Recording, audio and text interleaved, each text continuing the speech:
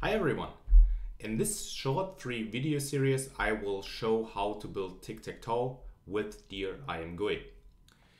Today we will have a look at the mouse events in Dear ImGui. So let's see how we can get the information when our mouse is clicked and where it was clicked into our app. First I will do a little bit of explaining how the backends in Dear ImGui work because it's a little bit tricky and afterwards we will go into live coding and writing all the functionalities we need that we actually get the mouse clicks. So come along and stay with the ride. This picture here shows how the backends in Dear ImGui usually are built. So usually you do have four different components and most of them are actually hidden from you.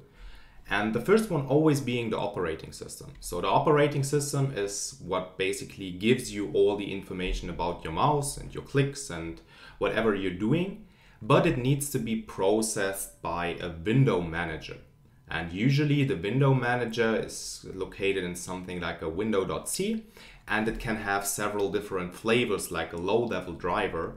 And in my example, I have chosen GLFW as a low-level driver, and usually this is uh, quite a common choice. And if you're new with Dear ImGui, I will always recommend that you go with uh, GLFW because it's just the most common choice. After uh, the window driver, there usually is what Dear ImGui calls its backend. And this one is the file that is connecting the low-level driver, which is GLFW, with actual calls of IMGUI. So this is then usually located in something like IMGUI implementation GLFW or something. But let's have a look at uh, where it's actually in the repository. So if we go here to the IMGUI repository, then we will find it under the backends. So under the backends, we will have several different low-level drivers which are connecting Dear ImGui to the window manager that you're using. And here, this is the GLFW backend. This is something that is, uh, let's say, quite common and also fairly uh, well maintained. So how are the calls actually looking like? So GLFW is using the call of GLFW poll events to um, update everything that is about the mouse and the keyboard and maybe gamepad or whatever you're using. And then usually there is somewhere inside a callback. So the, this callback will always be called if your mouse, for instance, gets clicked, if your key, key gets clicked, or maybe key gets released, or whatever. And it's called, in this case, mouse button callback, and it's the IMGUI implementation for GLFW. So you will find this function also here in this backend file. And what is important here is that this is already doing all of the connections for you. So you don't need to uh, forward the signals to Dear IMGUI yourself. The backend is already handling that for you. So inside this function, which already exists, there is already the correct way on how to get this information to Dear IMGUI. However, if you now want to add your own stuff, because you want to also process the mouse signals and the keyboard signals in your own application, then you need to add an additional callback, which is then forwarding the information not to Dear ImGui, but to whatever you are writing yourself. And in this case, you can add an additional callback by using glfw set mouse button callback and uh, then this will also be called inside the mouse button callback of your backend. So this is basically the design, but let's have a look how it looks in real code. If we, for instance, go to the backend, um, here we do have the implementation of this mouse button callback, and we see here that at the bottom there is this forwarding. So this is basically um, the, the I.O. part of the GUI. And whenever a button gets pressed, then this is actually forwarded to the GUI. And in the top part is your own callback that you can register and your own callback, which is in this case previous user callback mouse button. Um, this is getting called if there is something registered behind it. So the design here is uh, a little bit uh, questionable, let's say, because uh, yeah, it's it's just um, I I don't think that it's very clear here in the backend. But in order to get here, you can just uh, yeah search for whatever wherever this is being called, and you see that this is actually using then the glfw functions to set these callbacks. And if you from outside also set this callback, then basically uh, your callback gets shifted into this previous user callback and the callback from uh, the GLFW framework, which is this callback, then actually stays the same. Um, so I don't like this particular design, but uh, in this case, it is how it is, and I don't want to touch it. So maybe in the future I will, but uh, this is um, how it is currently. The important thing is that you want to register your own callback. You need to call this function with your callback, and it's actually also fairly well documented. So if you see here, for instance, the description, um, this is what you need to do. Um, yeah, then let's dive into coding. So the app which I have prepared is called here Tic-Tac-Toe and it's based on AppBase and I have shown how to build AppBase in another video. Um, but let's have just a short look at it. AppBase here itself, it's basically a class wrapper for the example based on OpenGL3. You can find this example based on OpenGL3 also here in this um, in the IMGUI repository under examples. And this is basically this um, OpenGL3 with GLFW. So here GLFW, OpenGL3. It's basically this example um, just as a class wrapper to, to make it more convenient to use. Um, and this we will now extend with a functionality to dispatch the mouse events that we want to have. Um, I have um, already prepared everything here inside and we will now add the functionality to actually do it.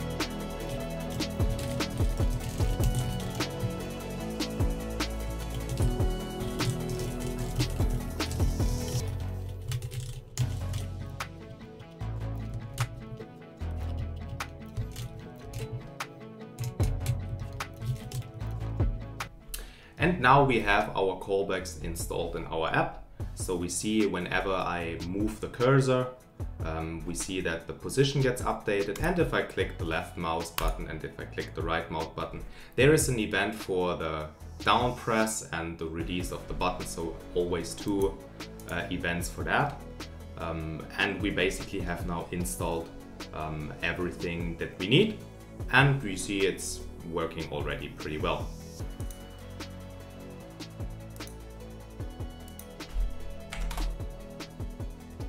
However, one problem remains. So you see, for instance, this is something that I uh, that is already in Dear ImGui, and this is the dispatch mechanism of Dear ImGui, which we now need to resolve. Because if I'm over this window, usually I don't want that um, the information of the mouse move is updated and um, also sent to my application because only Dear IM should handle it because this is what is currently in the foreground here.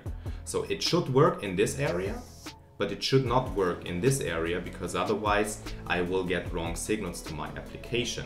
And this is also what they write on their homepage. Um, for instance, this, uh, this FAQ, and actually it's really fre frequently asked, how can I tell whether to dispatch mouse, keyboard, Dear ImGui or my application? And here they have even an example code what you need to include in your handler that this works for you. So we will just add it.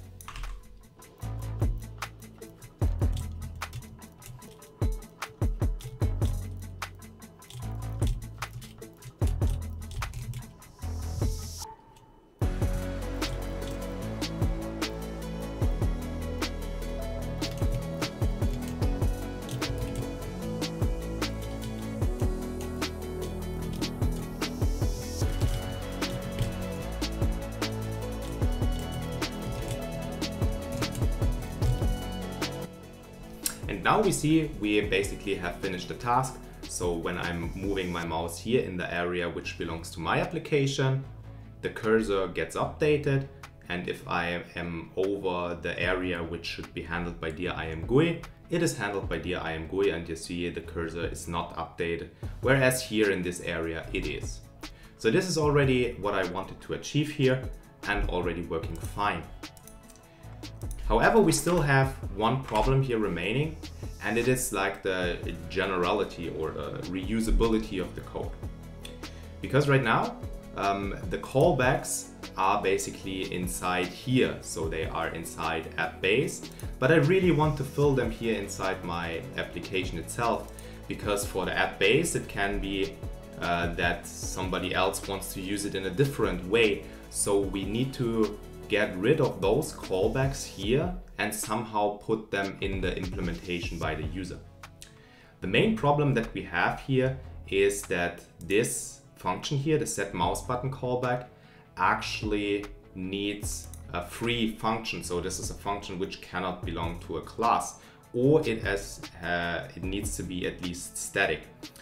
So in order to fix it, what we will do is that um, we cannot use here, uh, uh, or we could potentially use a, a virtual function call. Um, but what we will do is that we will just make this app base here um, as a CRTP pattern and add a template parameter and then call the correct function based on the derived type. Um, that way we can make it more general and shift the implementation of our handlers here inside our normal application and make it a little bit more general. So let's go.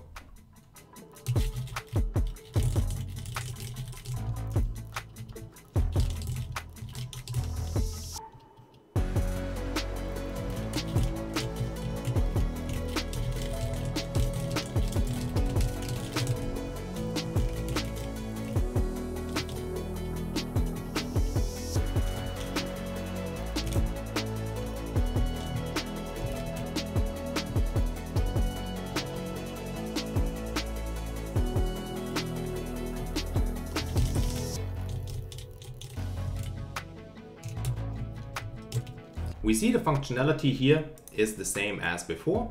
So here the dispatch is uh, not to our application, here the dispatch is to our application. And we have moved the implementation of the callbacks out of the base app into the application that we want to implement. So it's nicely general and we can now start filling this with something that we actually want to use. But this is then in another video and um, hit subscribe if you're also interested in that. Um, other than that, start up your machines and as always, enjoy coding.